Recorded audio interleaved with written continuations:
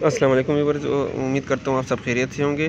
महकमा जेल खानाजात पंजाब में मुलाजमीन की भर्तियों का आगाज़ हो चुका है। जिनकी तादाद 1500 प्लस है, जो कि पंजाब के मुख्तलिफ़ अजला से की जा रही है। अगर आप मेरे चैनल पर नए हैं तो काइंडली मेरे चैनल को सब्सक्राइब करके बेल आइकन पर लाजमी प्रेस करें। जी तो चलते हैं कंप्यूटर की स्क्रीन पर।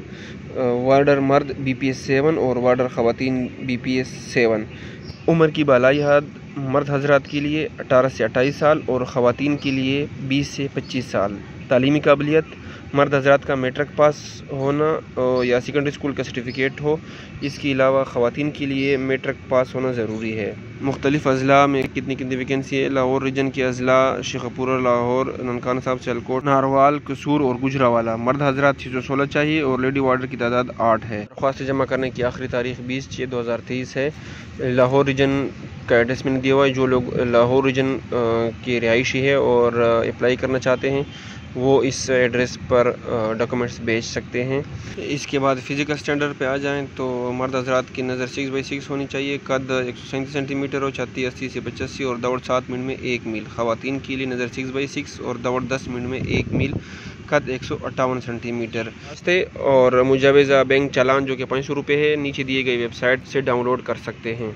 बहावलपुर रीजन में सिर्फ़ मर्द हजरात चाहिए, मेट्रिक पास होना ज़रूरी है और 169 पोस्ट हैं। सरगोदा रीजन में वार्डर मर्द हजरात की तादाद 317 और लेडी वार्डर की तादाद 12 है। फैसलाबाद रीजन में वार्डर मर्द हजरात एक और लेडी वार्डर दो। मेट्रिक पास इसके बाद मुल्तान मुल्तान में वार्डर मर्द हजरात 170 और लेडी वार्डर 15 इसके बाद डीजी खान में वार्डर मर्द हजरात 207 और लेडी वार्डर की तादाद छः है।